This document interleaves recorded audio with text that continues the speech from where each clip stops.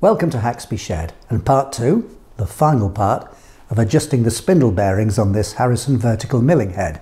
Now if you saw part one, you know that the top bearing inner was seized on the spindle and I put it in the lathe and I took a bit off it. I took off slightly too much, probably by about a hundredth of a millimetre, half a thou, maybe even less than that. And a number of people have commented, well, I could have just knurled the surface slightly of the bearing journal where it goes on. Uh, or I could have popped it with a centre punch or I could have formed some lines on it and I certainly could have done but I'd used the Loctite before I read those comments. Even so, I think it works fine. It feels quite stiff today but it's quite chilly in here but otherwise I think the job's done. I hope you enjoy it. Anyway, in the background I've been working on my new to me machine. I'm going to have to make another bronze nut. Can you hear it? Well, that's quite a long way off yet. I just thought I'd give you a teaser. Oh, here's the cable for it as well. Enjoy. Well, boo-hoo. I've taken a fraction too much off this. It's reading exactly where, what I thought it should be. 34. 925 which should be 1 and 3 eighths exactly. But when I put the bearing on now it's too loose. Well it's very difficult to get this started. There we are. So by here it's binding up which is kind of alright but here it's a bit too loose. And there's a risk that the inner will spin. This will lock and the inner will spin so I'll need to put it on with some bearing shaft sealer, Loctite, the right type. I would have preferred to get this spot on. I mean, it's not undersized by very much, you know, maybe half a thou, or something like that. I mean, there's no feel to it. I can't feel any rock or anything. But it should have been just a very light tap fit. So I've just gone a bit under. That's annoying, isn't it? Mm, well, that's what happens when you go by measurement, and I should have stopped earlier and gone more by feel. But it's very difficult to get this started on the end of this shaft. Never mind, not a disaster. At least I'll be able to set the preload now. So you can see I've fitted the spindle into the housing without any of the internal gubbinry. I really am quite annoyed with myself for taking too much off this. One effect of that is I get a very good feel for the amount of play on these bearings. I mean, how they ever could have set these correctly with a three ton press fit, I just cannot imagine. It's a bit of a rubbish design anyway. Well, I blame the design, obviously. I've got some Loctite 641 there, which is medium grade bearing retaining fluid and I looked on uh, YouTube last night and I watched a couple of Loctite videos about how to use it so I think it's going to be fine. It takes about six hours to cure to about 90%. Anyway, I want to show you something at the top here. So I've been adjusting up this collar and just checking it with my fingers to see if I can get it right. And I've put this strike on there and a couple of dots to see where I am and the thread on this collar is so coarse that you barely have to move it any degree to completely change the setting from too loose to too tight. So if I put that against the top dot, it's too loose and I can feel end float. About where it is now is about right, I think. If I moved it, you know, one dot further round, if I was to dot it here, that would be too tight and they would be binding up. So it's very difficult to get them spot on. And because I'm going to use a retaining fluid now, I've only got a certain amount of time. Uh, if it starts to chatter on the machine, well, I just have to work that out. I'd have to get the collar off, get the bearing out, degrease it, clean it up, repeat. But at least I'd have a reference. You know, these dots would give me a reference. I think we all know that there should be a little bit of end float on taper bearings, just a fraction. And this washer, look, sits before this collar. I guess it's there to spread the load. on this uh, inner race.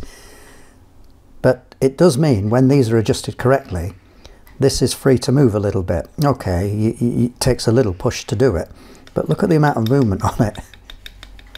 So I'm going to put an O-ring in there just to try and settle it down and keep it sort of centered.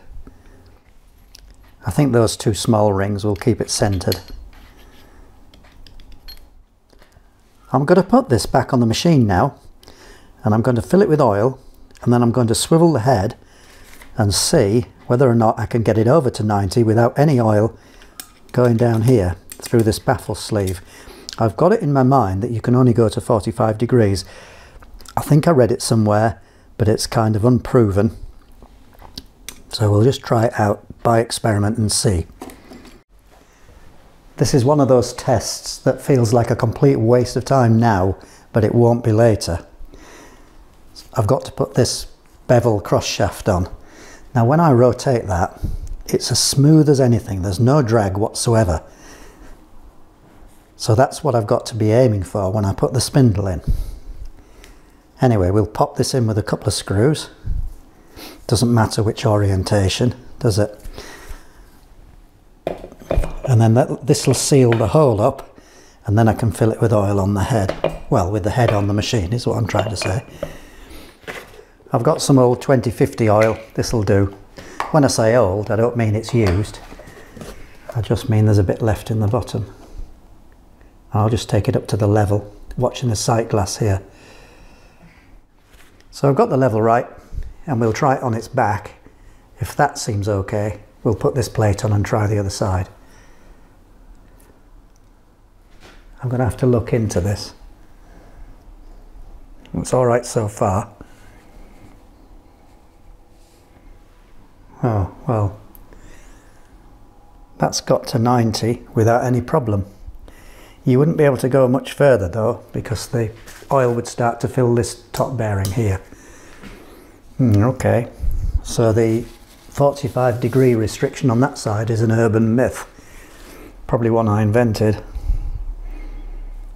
Hmm. The nuts are nipping up now, but yeah, we could get a bit further than that, a bit over 90. Right, we'll put the plate on and try the other side. So going anti-clockwise, I can get to 105 degrees before there would be danger of the oil getting into this top bearing. So now let's go the other way. Now the only way of knowing, because I've covered this up and I can't see in really, not easily, um, would be just to see if any oil starts coming out somewhere. Sorry, the nuts are nipping up now. Oh, this one's nipped up. There we go. That's it. Right, that's 90. And nothing has leaked. Oh, it's nowhere near now on that side. Well, it's nowhere near. You go a lot further this side. There must be just more capacity in this bit here. Well, this is going to be, sorry, I know this is exciting, isn't it? Where are we up to? Can't even see the marks on here. 90, 100, 110, 120, 125. Not that you'd be likely doing this. At least 125. Let's call it that, 125. Actually 130 before it's the oil's just sitting below this edge here. Now when the thing's spinning, it's going to throw the oil around a bit.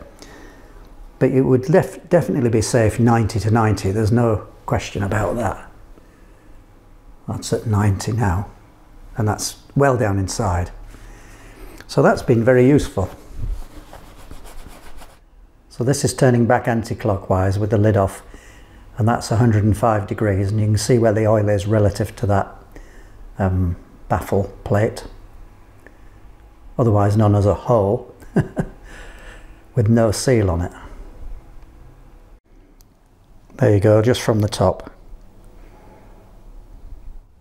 Getting ready to put this back together and I've discovered that one of these bronze or brass buttons is missing from this ring that sits just above the bevel.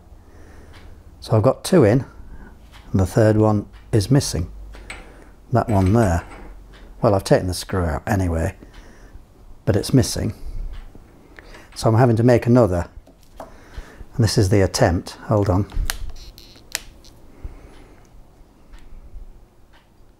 There we are. So I've had to try and cut the threads in it. They all have those kind of thread grooves. I don't know how they're made. And I'm trying to get it to match this. You won't be able to see, but you get the idea. Well, it's near enough, so I'll cut it off and pop it in the hole as a substitute. I've looked all over the place and I kept everything together and I kept it in a tray or on this newspaper. So I don't think I've lost it. Hopefully you can see there's mine in place. I don't think I'll be able to show this very easily, but here goes. The key is in. And now we need to put this one on first.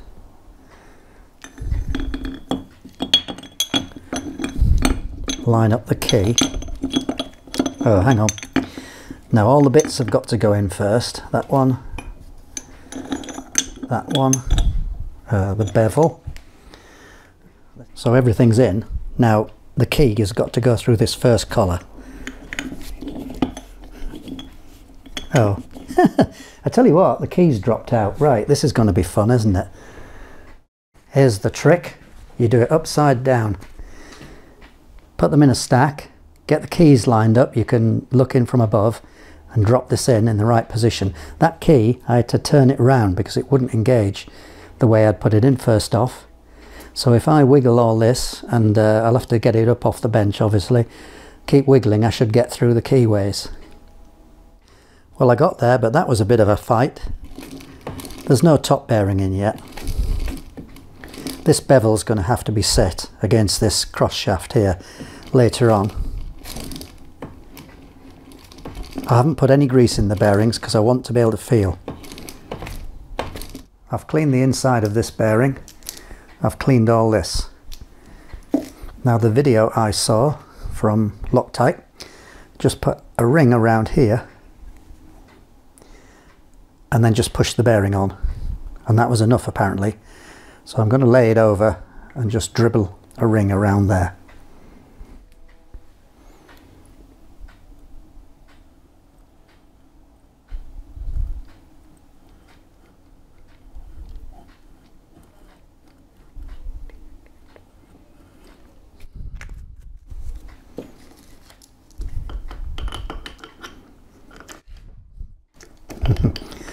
try not to jam it. There we go. That goes over the O-rings just to keep that in place. Nip this up to my marks. Stay where you are. Okay. Do you know this is no more than finger tight? Just there. That feels good. Actually just past my, oh it's quite a bit past my mark actually. But I have smacked, smacked this bottom end. Hmm. You know, I think that's okay. I'll nip this up and make sure it's clamped evenly. It may cockle over when I tighten it up or change somehow.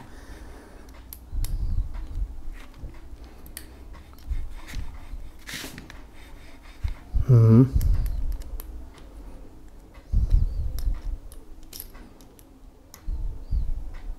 Sorry, I'm sure my hands are in the way.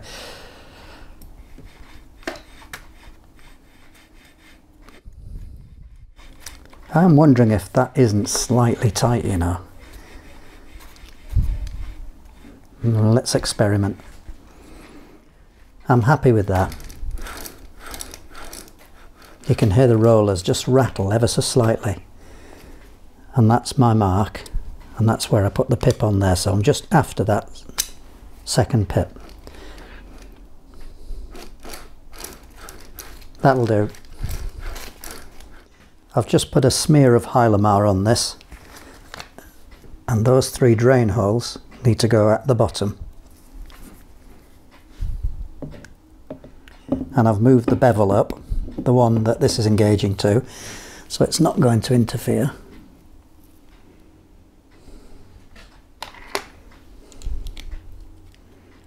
Think I've left the Allen key in the other room. Never mind. Just get one in so that it doesn't fall off, which it easily could knowing my luck. I'm happy with the set on the bevel. If I just put my microphone down there, you might just hear a little click.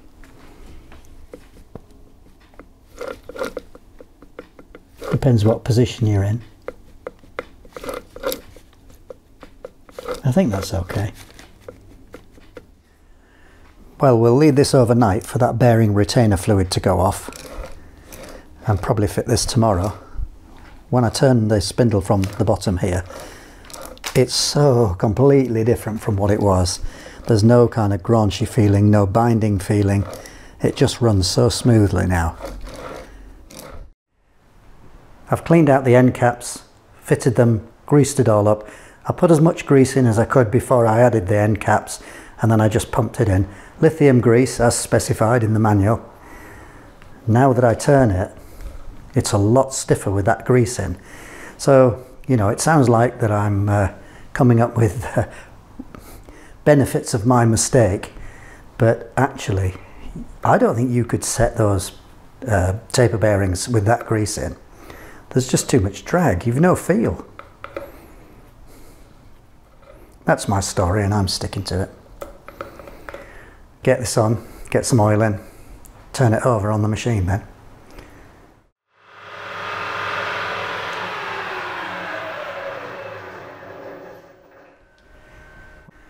Well that's been running at 1500 for quite a long time and this top end is cool. Now that was getting hot before, it's not now, but this bottom end has got hot. Well the pressure on the two bearings must be equal. So I think maybe I've got the bevel a little bit too tight, so I'll take this cover off and I'll adjust that. Yes, it was too tight. There was no play on it at all. Now I'll just move close to this and you'll be able to hear it click. I have to put the torch down.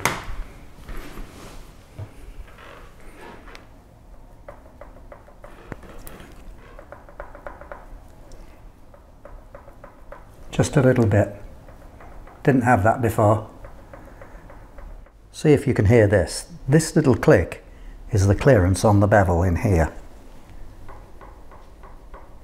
Okay, but this That's the play in the key on the gear on the back of this cross shaft here. So I think I'm going to make a new key for that. I'm not going to video it, I'll just do it offline. So it's a quarter key. It says it's a quarter key by half long and I've got some quarter key steel. Easy enough to fix that. Just means taking it off again. Yeah, so that's just the bevel. This is the oil that I took out. Oh, well that was really stupid, wasn't it? Dummy.